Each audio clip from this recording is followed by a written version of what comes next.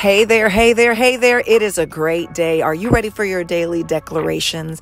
As I am sitting here, the rain is coming down. It is watering the earth. It is watering the ground.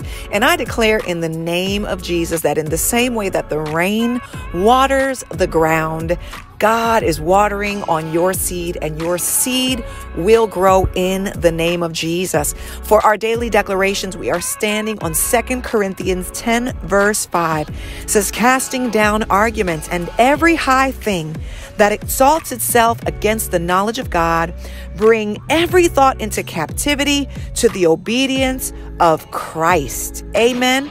Father, we thank you and we declare over our day today that we take every thought captive to the obedience of Christ. Father, we declare today in the name of Jesus that every thought that comes to torment, every thought that comes to lie to us about our purpose and about our circumstances, we cast it down right now in the name of Jesus.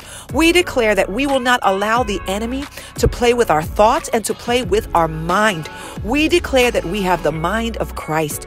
We declare that we have peace in our mind. We declare that in the name of Jesus, every thought that the enemy tries to use against us today, we will cast it down and we will declare the mind of God. We will declare the purpose of God. We will declare the goodness of God. We have never seen the righteous forsaken, nor his seed begging for bread. So we declare that today is a wonderful day of peace in our mind and joy in our soul. In the name of Jesus, we pray. Amen and amen. Know that you are loved, you are blessed, and we pray that you have a magnificent fantastic day. In Jesus' name, we love you.